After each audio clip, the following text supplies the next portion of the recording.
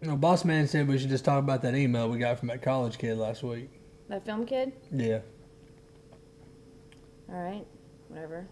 Uh, just read his email out loud, I guess. Okay. Uh, let's see here. This is it, I think. Uh, yeah, that's the one right here. Okay. To Carl or Kevin, ASVS Management. My name is Evan Shanling, and I am a film student in my last year and soon to graduate. It would be my dream to document your company for my thesis film and final grade this next semester. Hmm. The holiday break is coming up, and I'll have nearly three weeks to get interviews, research, documentation, and hopefully even footage of you on the job. I know that my request is out of the left field for you, but I have thought about this for a year already.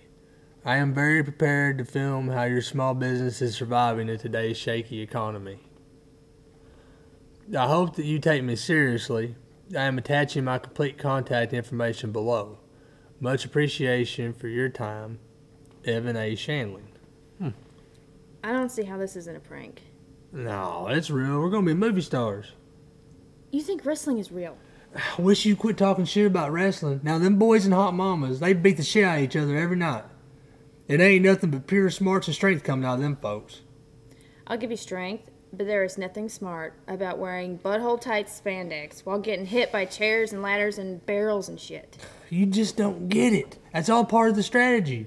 Now you got to use what's around you as weapons. That's how you win. That helps you win. Now, and they wear them tight spandex and stuff because it helps them move. Now, shit, you know that as good as anybody. You're a woman. Y'all wear that shit to nightclubs, dance your little asses off all the time. Well, why don't you go It helps some? you move, don't it?